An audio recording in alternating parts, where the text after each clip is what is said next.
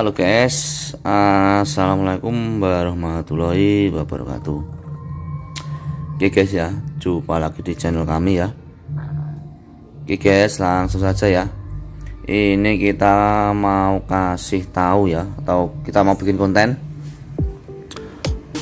Soalnya rata-rata ketika orang yang mau beli bios itu kan menyalakan bios ya itu di pagi hari atau posisi engine masih dingin itu kan kalau mobil injeksi kan digas pas dinyalakan mesin ya atau digas itu pastinya kan RPM nya akan naik.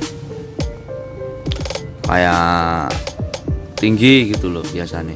Nah itu terkadang orang salah paham ya dikira kenapa kenapa tapi kan itu memang wajar. Normalnya seperti itu tuh kemarin juga ada yang lihat bios di sini bilang wah mas ini gasnya kok banter istilahnya belandang. Belandang itu gasnya RPM itu loh gas naik. Ya ini kita akan bikin konten cara merawatnya gimana agar nanti bila ada yang pakai Vios tidak salah paham ya kenapa kok gasnya di pagi hari atau ke posisi engine off gasnya terasa tinggi. Itu nanti di panel speedo nanti ada indikatornya penunjuknya ya. Ini biosnya ini kita pakai konten bios gen 3 ini dari kemarin belum kita nyalakan mesinnya nanti kita akan nyalakan. Terus nanti kita akan kasih tahu panel-panel indikatornya tuh gunanya untuk apa aja ya. Nanti bagi pemula yang baru memakai Vios biar tahu tidak salah paham ini kita, kita bikin konten ini mobilnya ya nanti kita akan buka dulu kuncinya. Terus nanti kita akan lihat di panel speedonya itu panelnya gunanya buat apa. Jadi bagi jenengan yang baru atau mau memakai Vios tahu dan bisa merawatnya. Karena awet tidaknya kendaraan itu tergantung dari perawatan kita sendiri kalau kita merawatnya secara bagus secara baik Insya Allah mobilnya pasti kan awet. Tapi kalau kita tidak tahu cara mengoperasikannya kita naikin aja gitu aja nggak ada perawatan kan ya pasti nanti problem-problem atau keeroran pasti ada di mobil. Oke ini kita akan buka dulu ya mobilnya. Nanti kita akan masuk ke dalam mobil. Ketika posisi dingin nanti indikatornya ada nanti saya akan kasih tahu. Biar jenengan yang baru pakai Vios atau yang mau beli Vios nanti bisa belajar. Kita belajar bersama ya guys ini. Ini soalnya kemarin udah beberapa kali sih yang lihat Vios pasti dia tanya mas ini kok gasnya tinggi? Nah, ini kita jelaskan. Nanti biar kita saling sharing saling belajar ya. Semoga bermanfaat ilmunya ya Oke kita akan buka. Kita akan buka. Nanti kita akan langsung masuk ke dalam mobilnya ya. Nah ini kita akan masuk ke dalam mobilnya ke dalam cabin. Ini kita pakai contoh di Vios Gen 3 speedo yang ada di sana ya. Yang ada di depan setir. Kalau yang tengah tuh Vios Gen 1 Gen 2 tapi sama aja nggak ada bedanya ya. Untuk indikatornya itu. Apa aja. Cuma yang membedakan speedo kita akan nyalakan kuncinya dulu. Nah, nanti kita akan jelaskan tombol-tombolnya ya. Nah ini kunci saya off lagi. Itu yang ada itu itu sensor ini ya. Ini sensor pintu. Ini kita nyalakan. Nah ini sensornya semua nyala ya. Itu ada. Nah ini maksud saya. Maksud saya di sini ya. Ini sensor temperatur suhu ketika masih dingin. Terus yang sampingnya tadi itu sensor temperatur suhu ketika sudah dalam kondisi panas ya panas atau sistem pendinginan tidak bagus di sampingnya tadi ini di sini ini kan tadi warnanya merah. Ini nanti kalau pendinginan tidak bagus dia akan nyala. Itu perlu hati-hati ya ini. Nyala nanti kalau kita nggak meminggirkan kendaraan atau kita tetap lajukan bisa overhead. Itu kalau di Vios modelnya gitu jadi kita harus teliti ketika memakai ya. Ini loh guys. Nah, saya contohnya lagi ya.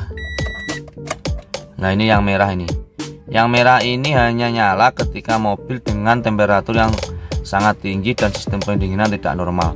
Istilahnya overhead. Mau overhead ini empan lap lap lap gitu. Segera mematikan kendaraan ya. Nanti kalau tetap dipaksa nanti akan overhead silinder kopnya akan bahaya nanti. Bisa rusak malah totalan banyak ya. Nah, itu. Terus itu di atasnya itu ada check engine ini sini.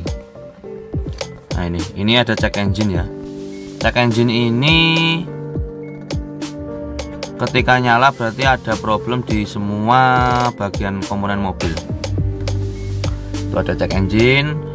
Kalau ada yang problem pasti ini akan nyala kayak mesin nyendat atau dan sebagainya nyala dan itu bisa dilihat cuma pakai alat scan. Terus yang bawah ini ada sensor aki toh yang bawah ini ada sensor aki terus yang ini handrem handrem atasnya ini ada airbag sensornya. Ini sensor airbagnya di atasnya ini. Karena di Vios Gen 3 sendiri sudah dibekali dengan double airbag terus di situ ada sistem pengemudi. Terus ini juga ada aki ya. Ini jalur sensor aki. Eh maaf sensor oli guys. Ini sensor oli. Kalau oli kurang atau tidak normal dalam perputaran olinya dalam silinder kopnya ini pasti akan nyala olinya ini.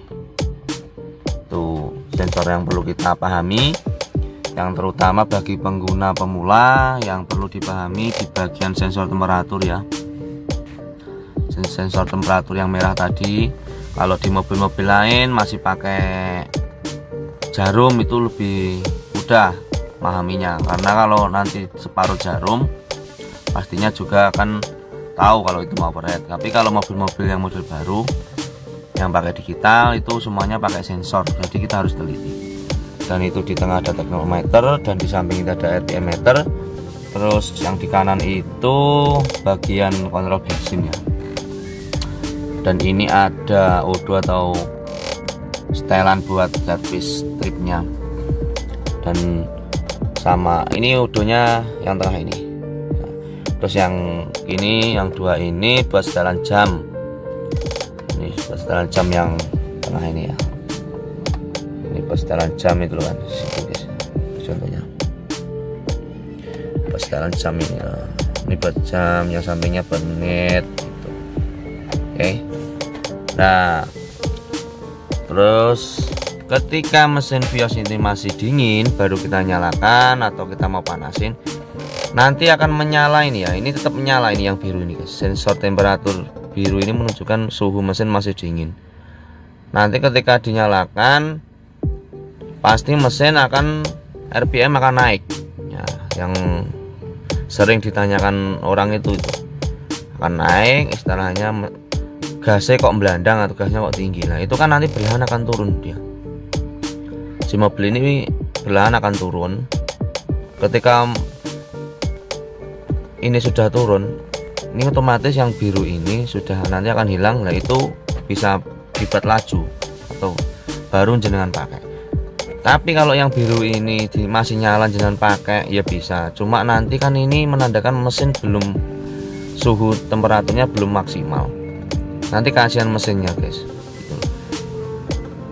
Ibaratnya tunggu ini sampai birunya ini ya ini hilang dulu. Sudah mati dulu sensornya ini baru dibuat jalan. Karena biar sirkulasi oli di dalam mesinnya sudah menyebar ya dan mesin sudah cukup, cukup temperaturnya. Biasanya kalau tidak dipahami pagi hari masih gasnya masih tinggi langsung pancal aja ya. Nanti nanti efeknya di kendaraan itu sendiri karena awet tidaknya kendaraan itu yang merawatkan kita. Gitu. Jadi kita nggak jangan asal-asalan buat memakai. Itu banyak ya yang tanya masalah itu. Nah ini kita bikin konten ini. Oke nanti kan pas saya nyalakan engine-nya mesinnya saya nyalakan itu nanti pasti tetap birunya itu loh. Sensor yang biru yang menunjukkan temperatur dingin itu masih tetap menyala. Mungkin kisaran 2 menitan lah itu baru hilang nanti. Kalau itu baru hilang barulah jenengan buat jalan. Karena itu sudah menandai bahwa mesin sudah siap buat jalan. Dan sirkulasi di dalam ruang mesin sirkulasi olinya di dalam ruang mesin sudah mencukupi.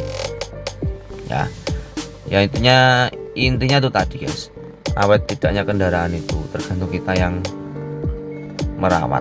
Kalau kita merawatnya asal-asalan ya pasti kendaraannya juga akan rewel gitu. Tapi kalau kita merawatnya dengan baik dengan sistem yang baik insya Allah biarpun kendaraan lama juga masih tetap prima dan awet ya. nanti kita akan nyalakan mesinnya ya nanti kalau ini dinyalakan semua nanti sensor-sensor ini akan hilang. Kecuali yang biru ini. Biru ini masih tetap utuh. Kecuali kalau ada problem di bagian mobil sensor yang lainnya pasti akan nyala itu baru ada problem. Tapi yang perlu kita pelajari yaitu sensor gunanya sensor. Ini loh pendinginan ini. Guys ikutin ya. Ya. Guys ini kita akan mau menyalakan mesinnya dulu. Ya. Kita akan mau menyalakan mesinnya dulu biar ini kita sharing kita belajar bareng biar jenengan paham. Bagi pengguna Vios ya. Ya juga buat mobil-mobil lain juga sama aja sih. Tapi ini kan kita pakai kontennya Vios. Tapi kalau buat mobil yang sudah digital gini juga sama perawatannya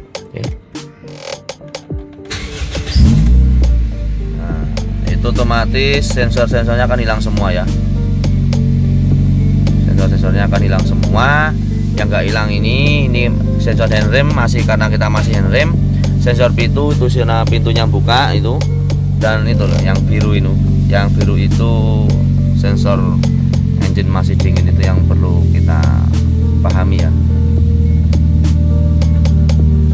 Nah, ini mungkin kurun waktu 1 sampai 2 menit nanti pasti akan tetap menyala itu sensornya bagian temperatur yang biru. Itu menandakan mesin masih kondisi dingin.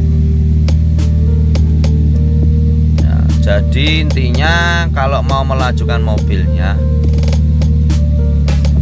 tunggulah sampai sensor temperatur yang warna biru ini yang yang biru ini hilang atau mati dulu barulah jenengan lajukan mobilnya karena ini menunjukkan mobil dalam kondisi suhu masih dingin.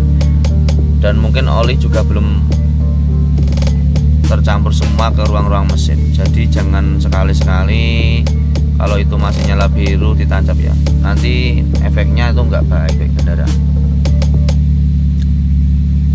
Tunggu sampai itu hilang dulu baru kita bawa mobilnya di temperaturnya juga menunjukkan masih di atas RPM 1000 ya. Gasnya masih tinggi ya kayak yang kita panasin tadi. Nah itu normal. Normalnya memang seperti itu. Tapi di sebagian banyak orang yang belum paham dikiranya itu mobil problem. Dan tapi itu tidak. Memang normalnya begitu. Udah berapa orang ya yang lihat Vios memang dia oh, mas mobilnya kok gasnya belandang gasnya kok tinggi. Nah itu guys. Itu sudah hilang ya. Sensor yang biru di sini tadi itu sudah hilang. Ini guys yang biru di sini tadi ya. Sensor dingin tadi sudah hilang. Itu menandakan mobil bisa dibawa laju. Atau temperatur mesin juga sudah cukup panas. Sudah normal buat dikendarai. Atau kalau tidak itu kita panasin 1 sampai 2 menit pun juga nggak apa-apa sampai kipas. Ter gitu loh. Oke ya itu tadi adalah tutorial atau konten kita membuat konten cara merawat kendaraan mobil Vios dan menghafal ya indikator panelnya biar jenengan tahu. Jadi setiap di jalan apal itu loh ya itu tadi ya. Semoga bermanfaat ya. Bila jenengan suka monggo di like dan di subscribe bila nggak suka di skip aja nggak apa-apa. Kita saling sharing saling belajar belajar ya. Gitu. Ini saya bikin buat pengguna-pengguna Vios yang belum paham nanti biar tahu. Dan perawatnya kendaraan biar bagus. Biasanya mobil kalau digas tinggi itu di mobil injeksi ya. Waktu masih dingin gasnya akan tinggi gitu. Nah itu RPM nya akan berlahan dari 1000 ke atas nanti dia akan turun. Nah, semakin panas mesinnya nanti RPM nya semakin turun. Tapi kalau mesin semakin masih dingin itu RPM nya pasti akan naik kayak yang pertama kita panas tadi. Kayak meraung gitu itu kalau mobil yang kenapa racing tapi kalau kenapa standar ya hmm, gitu. Oke. Semoga bermanfaat. Bila ada yang belum paham nanti bisa ditanyakan di kolom komentar. Dan bila suka monggo di like dan di subscribe dan bila tidak suka di skip aja ya. Karena ini kita juga saling sharing saling sama-sama belajar. Semoga bermanfaat. Oke guys cukup sekian ya guys ya. Itu tutorial atau konten kita tentang indikator BIOS Limo generasi 3 oke. Terima kasih banyak. Cukup sekian. Wassalamualaikum warahmatullahi wabarakatuh